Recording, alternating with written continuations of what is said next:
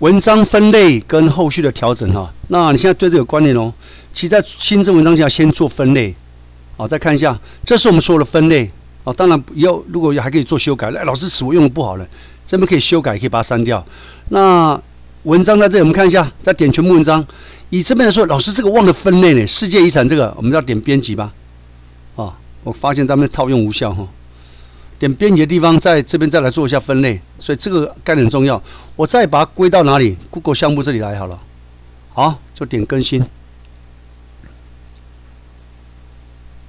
那我们来看一下吧。我们侧边栏哈，这是我们网页，我们来点这我们网页的地方，点起来。呃，更新完以后呢，来，我们刚不加了在我们的小工具加了一个功能叫文章分类吗？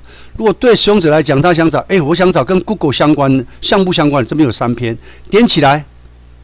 这是第一篇啊，呃，这第一篇在这里，无限空间。第二篇是 AR，第三篇就是世界遗产。这是我们刚做分类在这里。哦，所以这样对呢在找相关的资料就会非常方便。所以现在对这架构有清楚哈？来，我们再回到这里，点着点着就会有时候连接。所以这个书签列很重要，在这里要先进行分类。那你，我建议你确保你的文章应该都应该在一个类别里面。而如果老师没有就没有也没关系啊。我这个就不是他们类别，就保持的未分类也没关系，哦，只是说如果要改分类，就从这里来去改。那对使用者来说，他从这里点的时候就很方便。我想找什么 PowerPoint 这边就五篇哦，只要跟 PowerPoint 相关的文章就五篇，所以在那边点在查询就很方便了哈。你可以再试一下。